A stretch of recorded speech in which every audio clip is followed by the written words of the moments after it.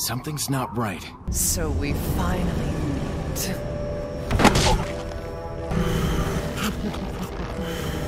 meet.